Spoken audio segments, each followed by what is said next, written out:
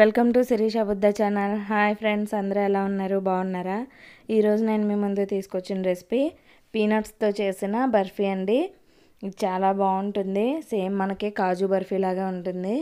దీనికోసం ఫస్ట్ మనం స్టవ్ మీద ప్యాన్ పెట్టుకొని ఒక కప్పు పల్లీలు లేదా వేరుశనగ గుళ్ళు తీసుకొని చక్కగా చిన్న మంటలోని క్రిస్పీగా వచ్చేంత వరకు వేయించుకోవాలి. దీన్ని మనం ఏం చేస్తామంటే తర్వాత మిక్సీ వేస్తాం అనమాట మిక్సీ వేసినప్పుడు అది చక్కగా పౌడర్ అవ్వాలి. మామూలుగా మనం హై ఫ్లేమ్లో పెట్టి అది వేయించేసుకున్నాం అనుకోండి మెత్తగా ఉంటుంది అనమాట పైన అంతా మాడిపోద్ది కానీ లోపల చిన్నది మెత్తదనం అన్నది ఉండిపోద్ది. దానివల్ల ఏమవుతుందంటే మిక్సీ వేసినప్పుడు అది పేస్ట్ అయిపోతుంది అనమాట పౌడర్ అవ్వకుండా పేస్ట్ అయిపోద్ది. సో ఏంటంటే చిన్న మంటలోనే మనం అలాగా కుక్ చేసుకుంటే కనుక చక్కగా క్రిస్పీగా వస్తాయి.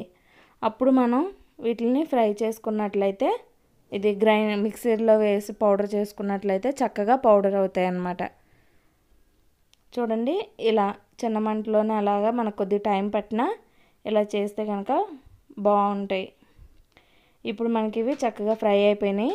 వీటిని స్టవ్ ఆఫ్ చేసి కొద్దిగా చల్లారబెట్టి పైన ఉన్న తొక్కంతా తీసేసి ఈ విధంగా పౌడర్ చేసుకోవాలి. చూడండి చక్కగా పౌడర్ వచ్చింది కదా?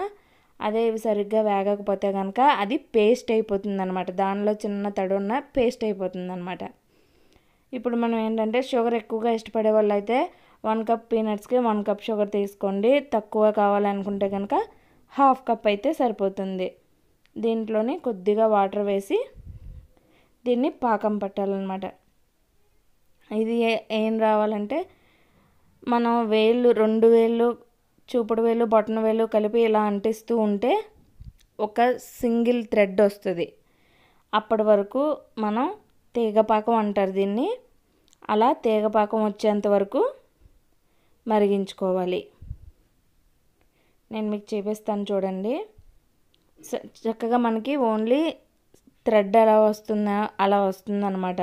మనం బటన్ వేలిని చూపుడు వేలిని రెండు అంటించి పైకి లాగుతుంటే చక్కగా ఒక సింగిల్ థ్రెడ్ వస్తుంది. అప్పటి వరకు కూడా ఇది మరిగించుకోవాలి. అలా వస్తే మనకి పాకం కరెక్ట్గా వచ్చినట్లు. అప్పుడు మనం ఈ పౌడర్ అందులో వేసుకొని చక్కగా తిప్పుకోవాలి. చూడండి. ఇప్పుడు మీకు చూపిస్తాను చూడండి. చూడండి చక్కగా ఇక తీగ వస్తుంది చూసారా? థ్రెడ్ లాగా చిన్న థ్రెడ్లా ఫామ్ అవుతుంది కదా? ఇప్పుడు మనం ఇందులో ఆ పౌడర్ వేసేసుకోవాలి. మనం రెడీ చేసుకున్న పౌడర్ ఉంది కదా పల్లీల పౌడరు ఇది అందులో వేసేసుకోవాలి. వేసేసుకొని చక్కగా బాగా మిక్స్ చేయలేగా ఈ షుగర్లోని బాగా కలిసేలా కలుపుకోవాలి.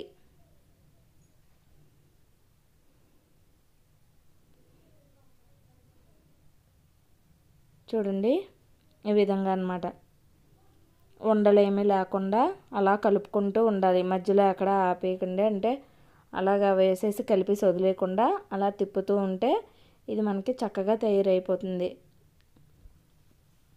ఈలోపు ఒక ట్రేలోని మనం ఒక పళ్ళెం లేదా పళ్ళెంలో కానీ కొద్దిగా నెయ్యి రాసి పెట్టుకొని ఉంచుకోవాలి.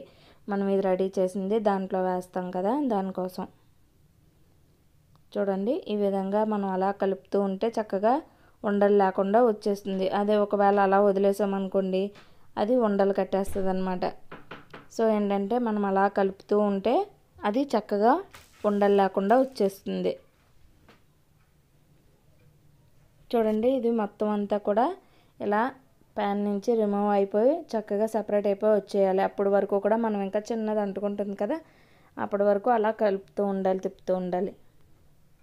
చూడండి ఇందులోనే కొద్దిగా నెయ్యి వేసుకొని ఇష్టం ఉంటే వేసుకోవచ్చు. నెయ్యి లేదంటే అవసరం లేదు ఇది ఆప్షనలే. మీకు ఇష్టం ఉంటే వేసుకోండి లేకపోతే అవసరం లేదు. చూడండి ఇది చక్కగా ఎడ్జెస్ వదిలేస్తుంది కదా మొత్తం అంతా చక్కగాని. ఇంకొక మనం చేసేటప్పుడే మనకి తెలుస్తుందండి చిన్నది ఏమైనా అంటే పచ్చివాసన అది వచ్చినా చేసిన తెలుస్తుంది అనమాట చూడండి ఇంక ఇది ఆల్మోస్ట్ అయిపోయినట్టే. ఇంకొక టూ సెకండ్స్ అలా ఉంచేసి మనం దీన్ని వేరొక బౌల్లోకి ట్రాన్స్ఫర్ చేసేసుకోవచ్చు. ఇంక చూడండి చక్కగా వదిలేస్తుంది కదా? చక్కగా వచ్చేస్తుంది. ఇప్పుడు మనం దీన్ని వేరొక ప్లేట్లోకి తీసేసుకోవచ్చు. ఇది చాలా బాగుంటుందండి. టేస్ట్ అయితే చాలా బాగా వచ్చింది. అసలు పీనట్స్తో ట్రై చేశాను ఎలా వస్తుందా అని. సేమ్ తింటుంటే కాజు బర్ఫీ ఎలా ఉంటుందో సేమ్ అలాగే వచ్చింది. మనం మింగేటప్పుడు మాత్రమే ఇది పీనట్స్తో చేసినట్టు తెలుస్తుంది. చాలా బాగా వచ్చిందనమాట ఇప్పుడు దీన్ని స్టవ్ ఆఫ్ చేసి మనం వేరే ప్లేట్లోకి తీసేసుకోవాలి. చూడండి నేను ఆల్రెడీ ఇది ఆయిల్ రాసి పెట్టి ఉంచాను. దాంట్లోకి ఇది తీసేసుకొని చక్కగా దీన్ని సైడ్లో అడ్జస్ట్ చేసేసుకోవాలి ఈ విధంగా. అప్పుడు మనం కట్ చేసుకున్నప్పుడు అది షేప్ కరెక్ట్గా వస్తాయి కదా మామూలుగా ఉంచేస్తే ఎలా పడితే అలా చేసేస్తే బాగోదు కదా. కొద్దిగా ఇది సైడ్లు అవి కూడా అడ్జస్ట్ చేసుకొని వేడి మీద ఉన్నప్పుడే చేసేయండి. చల్లారిపోతే అవదు కదా వెంటనే చేసేసుకోవాలి. చల్లారిపోతే కొంచెం గట్టిపడిపోతుంది కాబట్టి ఇరిగిపోయినట్టు వచ్చేస్తుంది. సో ఏంటంటే వేడిగా ఉన్నప్పుడే ఇలా చేసుకోవాలి.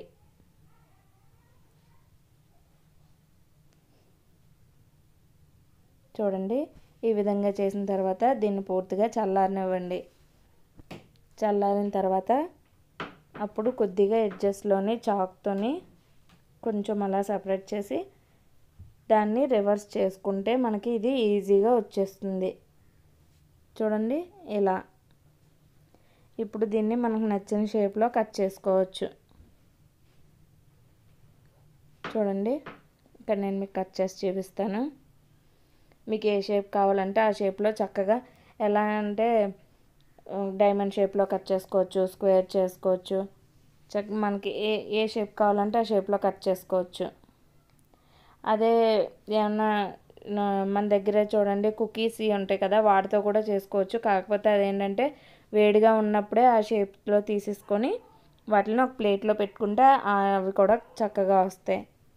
చూడండి పీనట్ బర్ఫీలు రెడీ అయిపోయాయి.